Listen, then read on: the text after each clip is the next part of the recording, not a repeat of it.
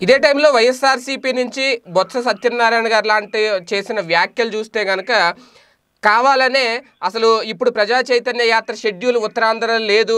ఏదో ఒక రెండు వివాహ వేడుకల్లో హాజరవడానికి వెళ్ళి పనిలో పనిగా మైలేజ్ తెచ్చుకునే ఉద్దేశంలోనే హఠాత్తుగా ఈ ప్రజా చైతన్య యాత్ర అనే దాన్ని తెర మీద తీసుకొచ్చారు. వాంటెడ్లీ ఇక్కడ ఇలాంటి ఉద్రిక్తత చోటు చేసుకుంటుందని ముందే ఊహించే తెలుగుదేశం పార్టీ ఈ ఐదున్నర గంటల డ్రామా నడిపింది అనేది. No doubt. అందులో రాజకీయ పార్టీ అనేటువంటిది రాజకీయాలే చేస్తుంది కానీ ఏం సన్యాసాశ్రమం ఏం స్వీకరించదు అది. రాజకీయ పార్టీ అన్న తర్వాత అక్కడ పెళ్ళికి వెళ్ళేసి భోజనం చేసి ఇంటికి వెళ్ళిపోవాలని ఆయన అనుకోరు సాధారణంగా. ప్రతిపక్షంలో పక్క రాజకీయ నాయకుడు ఆయన. రాజకీయం చేసేటప్పుడు ఆయన రాజకీయం చేస్తాడని తెలిసినప్పుడు నువ్వు కంట్రోల్లో ఉండాలి. నువ్వు అదే రాజకీయం కోసం చేస్తే తేడా ఏముంది ఇంకా? ఆయన ఫంక్షన్లకే వచ్చారు. వచ్చినోడు ఊరికి ఎందుకు వెళ్ళటం అక్కడ? కాబట్టి కాస్త ఈ ప్రజా కార్యక్రమాల్లో కూడా పాల్గొనాలనుకున్నారు. అట్లాంటప్పుడు ఏం చేయాలా? నీకు జాతనైతే కనుక ఆ తర్వాత నువ్వు ఇంకో టూర్ పెట్టుకో. నువ్వు ఆ తర్వాత ఇదిగో నిన్నటిదాకా వచ్చి మోసం చేసిపోయాడు ఆయన అని చెప్పు. ప్రజాస్వామ్యంలో అవతలోళ్ళ వాదన విననిచ్చి ఆ వాదన అయిన తర్వాత నీ వాదన వినిపించు. అప్పుడు ఆ వాదనలో ఉన్నటువంటి డొల్లతనాన్ని దెబ్బ కొట్టడం నీ మాటల ద్వారా ఉండాలి కానీ చేతల ద్వారా ఉండకూడదు.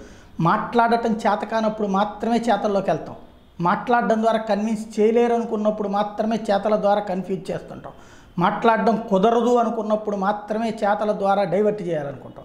ఇక్కడ జరిగిందైతే నేను ఖచ్చితంగా చేతల ద్వారా చేయాలనుకుని మాట్లాడడం చేత కాక అనుకోవచ్చు. సేమ్ టైం నువ్వు నిరసన తెలివి తెలివిగల్లోడివి ఏం చేయాలా? బాధ్యత కలిగినటువంటి నిరసన చేయాలనుకుంటే అధికార పక్షం నీ చేతిలో ఉంది. పోలీస్ వ్యవస్థ నీ చేతిలో రెవెన్యూ నీ చేతిలో ఉంది. వ్యవస్థ అంతా నీ చేతుల్లో ఉన్నప్పుడు అవతల ఉన్నటువంటి పర్సన్ ప్రతిపక్ష నాయకుడు తప్పు చేస్తున్నాడు అన్నప్పుడు కావాలంటే ఒక పిలిపిచ్చి దారి పొడుగునా ఒక నల్ల బ్యాడ్జీలో నల్ల జెండానో పట్టుకుని చంద్రబాబు గారు మీరు చేస్తున్నది తప్పు మీ మా మనసు మార్చుకోండి ఇలాంటివి ఏమైనా పెట్టారనుకోండి శాంతియుత నిరసన అవుతుంది అది తెలుగుదేశం జవాబు చెప్పుకోవాల్సి వస్తుంది ప్రజల్లో కూడా పాజిటివ్ సిగ్నల్ వెళ్తుంది.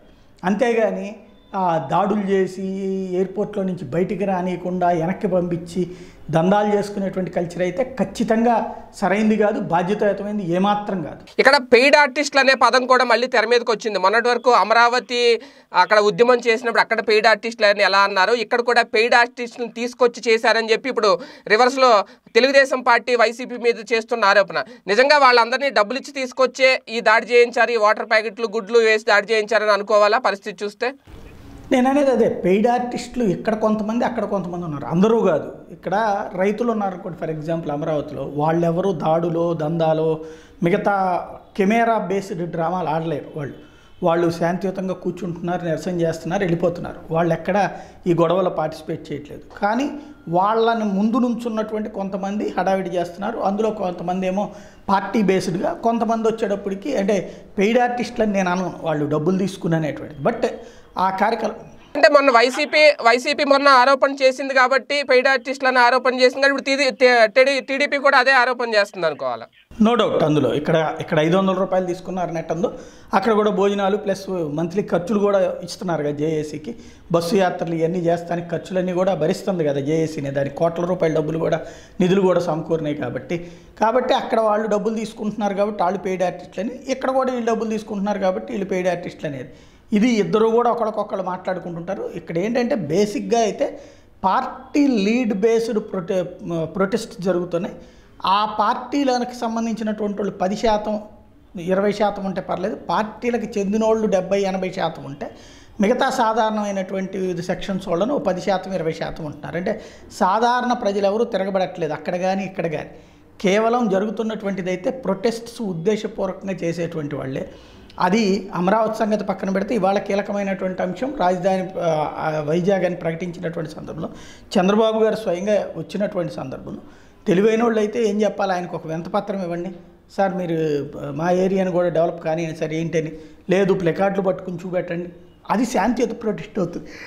అంతేగాని ఈ విధమైనటువంటి వ్యవహారం కరెక్ట్ కాదు ఇది బాధ్యతాయుతమైనటువంటి పద్ధతి కూడా కాదు. అంటే ఒక్కసారిగా అంతమంది జనం వచ్చి గో బ్యాక్ అని నినాదాలు చేసినప్పుడు లా అండ్ ఆర్డర్ అదుపు తప్పుతుందనే ఉద్దేశంతో పోలీసులు ఆ నిర్ణయం తీసుకోవడాన్ని తప్పుపడుతున్న తెలుగుదేశం పార్టీ ఆలోచన ఎలా చూడాలి ఇది తెలుగుదేశం తప్పుపట్టడంలో తప్పేం లేదు అది చాలా బాధ్యతాయుతమైనటువంటి పాయింట్ ఇక్కడ. బేసిక్గా తెలుగుదేశం వాళ్ళు పెద్ద ఎత్తున వస్తే అక్కడ ఘర్షణలు అవుతాయి అని తెలుగుదేశం వాళ్ళని హౌస్ అరెస్ట్ చేసినప్పుడు. వైసీపీ వాళ్ళు వస్తే అవ్వవా ప్రొటెస్ట్ చేయాలనుకుంది ఎవరు? వైసీపీ వాళ్ళు.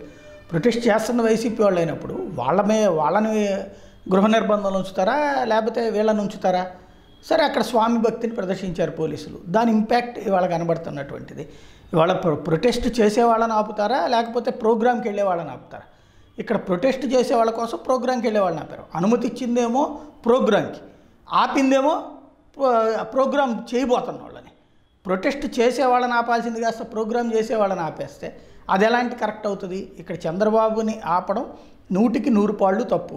అందులో ఉన్నటువంటిది రకరకాల కారణాలు చెప్పచ్చు వంకలు చెప్పచ్చు గొప్పగా చెప్పచ్చు కానీ అవన్నీ కూడా తమని తాము కవర్ చేసుకోవడానికి చెప్పుకునేటువంటి కాక్ అండ్ బుల్ స్టోరీస్ తప్పించి మరేం కాదు. అక్కడ ఎయిర్పోర్ట్లో నుండినే బయటికి కూడా రానికుండా వెనక్కి పంపించడం అడ్డుపట్టడం పోలీసులు ఆ సందర్భంలో ప్రొటెస్ట్ చేస్తారనుకున్నప్పుడు వాళ్ళని అరెస్ట్ చేయడం అవసరమైతే కనుక రాష్ట్ర ప్రభుత్వానికో లేకపోతే కనుక అధికార పక్షానికని చెప్పి మీ వాళ్ళని ఆగమనండి సార్ అది లేనిపోయింది తప్పు అవుతుంది మనమే పవర్లో ఉన్నప్పుడు మనం ఎట్ట చేయకూడదని వీళ్ళు కనిపించారా? లేదంటే వాళ్ళ డ్యూటీ వాళ్ళు నిజంగా స్వేచ్ఛాయుతంగా బాధ్యతాయుతంగా చేస్తే అసలు రానికుండా ఆపాల్సిన బాధ్యత వాళ్ళకు వచ్చిన తర్వాత చివరిలో ఎయిర్పోర్ట్ దగ్గరకు వచ్చేసి లోపల దాకా వచ్చి కోడిగుడ్లు టమోటాలు చెప్పులు పట్టుకుని వచ్చినటువంటి వాళ్ళు చేసే తప్పుని ఎవరిని బాధ్యత అనాలి జగన్నందమా పవ- బాబు బాబునైతే కాదన్నారు. ఇందులో వైఎస్ఆర్ కాంగ్రెస్ పార్టీని అనాల్సి ఉంటుంది. వాళ్ళు చేసిన తప్పే.